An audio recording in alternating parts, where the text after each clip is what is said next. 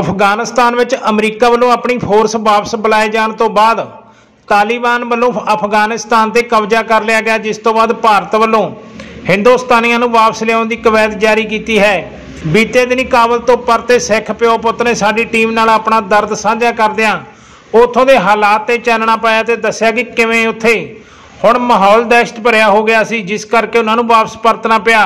ਅਫਗਾਨਿਸਤਾਨ ਤੋਂ ਪਰਤੇ ਗੁਰਦਿੱਤ ਸਿੰਘ ਪੰਸਾਰੀ ਦਾ ਕੰਮ ਕਰਦੇ ਸਨ। 15 ਅਗਸਤ ਤੱਕ ਮਾਹੌਲ ਠੀਕ ਰਿਹਾ, ਪਰ ਉਸ ਤੋਂ ਬਾਅਦ ਉਹਨਾਂ ਨੂੰ ਪਤਾ ਲੱਗਾ ਕਿ ਤਾਲਿਬਾਨ ਨੇ ਕਾਬਲ ਤੇ ਕਬਜ਼ਾ ਕਰ ਲਿਆ ਹੈ ਅਤੇ ਅਸ਼ਰਫ ਗਨੀ ਦੇਸ਼ ਛੱਡ ਚੁੱਕਾ ਹੈ, ਜਿਸ ਤੋਂ ਬਾਅਦ ਉਹ ਸਭ ਗੁਰਦੁਆਰਾ ਸਾਹਿਬ 'ਚ ਸ਼ਰਨ ਲਈ ਪੁੱਜੇ। ਉਹਨਾਂ ਨੇ ਕਿਹਾ ਕਿ ਤਾਲਿਬਾਨ ਨੇ ਉਹਨਾਂ ਤੇ ਕੋਈ ਹਮਲਾ ਨਹੀਂ ਕੀਤਾ, ਪਰ ਹਾਲਤ ਜ਼ਰੂਰ ਦਹਿਸ਼ਤ ਭਰੇ ਬਣ ਗਏ ਸਨ। ਉਹਨਾਂ ਕਿਹਾ ਕਿ ਲੋਕ ਹਵਾਈ ਫੇਰ ਕਰਦੇ ਸਨ। ਸਾਡੀ ਕਈ ਵਾਰ ਤਲਾਸ਼ੀ ਵੀ ਲਈ ਗਈ। ਉਹਨਾਂ ਕਿਹਾ ਕਿ ਭਾਰਤ ਸਰਕਾਰ ਦੇ ਯਤਨਾਂ ਸਦਕਾ ਹੀ ਉਹ ਸਹੀ ਸਲਾਮਤ ਇੱਥੇ ਪੁੱਜੇ ਹਨ। ਉਹਨਾਂ ਕਿਹਾ ਕਿ ਹੁਣ ਉਹ ਸੁਰੱਖਿਅਤ ਨੇ, ਪਰ ਉਹਨਾਂ ਦਾ ਲੱਖਾਂ ਦਾ ਨੁਕਸਾਨ ਜ਼ਰੂਰ ਹੋਇਆ ਹੈ। ਉਹਨਾਂ ਦਾ ਵਪਾਰ ਬੈਂਕਾਂ 'ਚ ਪਿਆ ਪੈਸਾ ਹੱਥੋਂ ਨਿਕਲ ਸਕਦਾ ਹੈ, ਪਰ ਨਾਲ ਹੀ ਉਹਨਾਂ ਨੇ ਕਿਹਾ ਕਿ ਉਸ ਮੁਲਕ ਨੇ ਸਾਨੂੰ ਬਹੁਤ ਕੁਝ ਦਿੱਤਾ ਵੀ ਸੀ, ਜੇਕਰ ਉੱਥੇ ਹਾਲਾਤ ਠੀਕ ਹੁੰਦੇ ਹਨ, ਤਾਂ ਉਹ ਇੱਕ ਵਾਰ ਫਿਰ ਵਾਪਸ ਅਫਗਾਨਿਸਤਾਨ ਜਾਣਗੇ। ਜੇ ਨਿਊਜ਼ ਪੰਜਾਬੀ ਲਈ ਲੁਧਿਆਣਾ ਤੋਂ ਪ੍ਰਦੀਪ ਭੰਡਾਰੀ ਦੀ ਰਿਪੋਰਟ।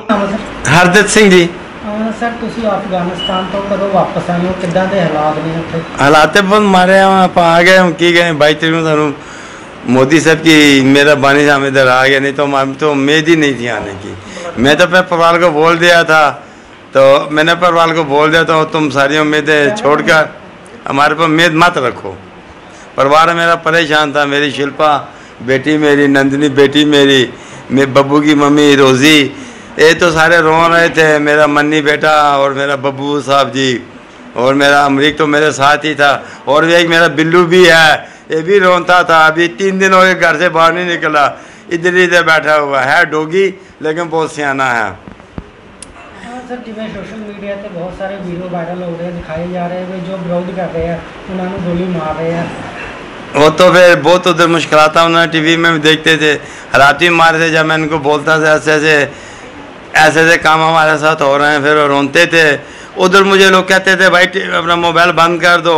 इधर फ़ोन करते थे, मेरे पोता साहब जी, मेरा, उसका नाम है कांदी साहब। एक का नाम है जगदास सिंह जी, बहुत घबराते हैं। जब उन्होंने मुझे टीवी में देखा तो मेरा परिवार कहता है कहता है कहता है, दादू को फ़ोटो देखिए कहता है टीवी से मैं निकालूँ दादू अपने को।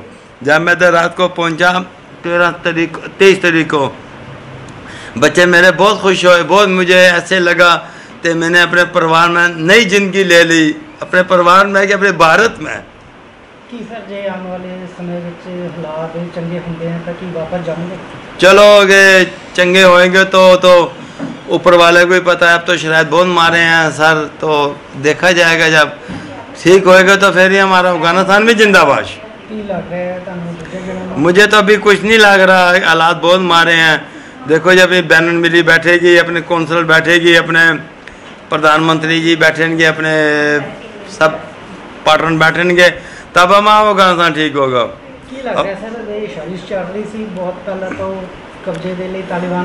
तालिबान ने तो बहुत ही किया और करेगा अभी बड़ा कुछ उन्हें करना है। जो नया बैठता है पहले तो दिखाता ही है आरामी से फिर उसके बाद ही कुछ करता है। अब उनको मौका मिलेगा करने का। ਅਮਰੀਕ ਸਿੰਘ। ਸਰ ਤੁਸੀਂ ਕਦੋਂ ਵਾਪਸ ਆਏ ਹੋ? ਹਾਲਾਤ ਕਿਹ ਨੇ? 22 ਤਰੀਕ ਰਾਤ ਨੂੰ ਹਾਲਾਤ ਤਾਂ ਬਹੁਤ ਖਰਾਬ ਹੈ ਭਾਜੀ ਕਿਸ ਤਰੀਕੇ ਨਾਲ ਤੁਸੀਂ ਇੰਡੀਆ ਤੱਕ ਵਾਪਸ ਆਏ ਹੋ? ਮੈਂ ਫਲਾਈਟ ਨਾਲ ਹੀ ਆਏ ਬਹੁਤ ਮੁਸ਼ਕਿਲ ਆਉਂਦਾ ਮੈਂ 에어ਪੋਰਟ ਪਹੁੰਚੇ 에어ਪੋਰਟ ਦੇ ਪਹੁੰਚੇ। ਤੇ ਜਦੋਂ ਤੁਸੀਂ ਆਪਣੇ ਘਰ ਤੋਂ 에ਅਰਪੋਰਟ ਪਹੁੰਚੇ ਕਿਦਾਂ ਦੀਆਂ ਦਿੱਕਤਾਂ ਦਾ ਸਾਹਮਣਾ ਕਰਨਾ ਪਿਆ? ਪਰ ਕਹਿ ਨਹੀਂ ਸਕਦੇ। ਸਾਰਾ ਐਨ ਮੌਤ ਦੇ ਮੂੰਹ ਚ ਆ ਗਏ ਬਹੁਤ ਬੁਰਾ ਹਾਲ ਸੀ। ਬਹੁਤ ਮੁਸ਼ਕਿਲ ਨਾਲ 에어ਪੋਰਟ 'ਚ ਪਹੁੰਚੇ।